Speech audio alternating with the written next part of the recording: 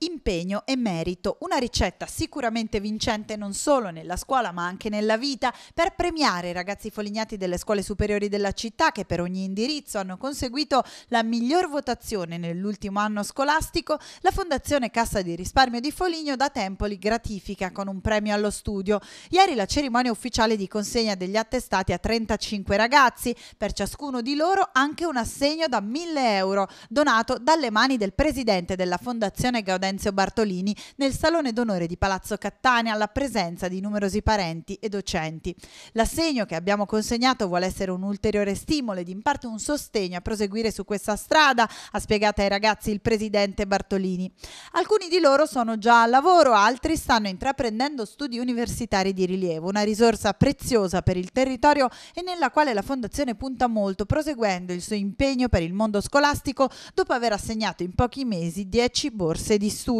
Domani questi ragazzi saranno protagonisti del mondo del lavoro mettendo le loro professionalità a servizio della comunità, ha detto Bartolini, contribuendone alla crescita economica e sociale. Ma ci auguriamo che questo sia un messaggio che anche altre istituzioni accolgono perché è di fondamentale importanza tornare al merito.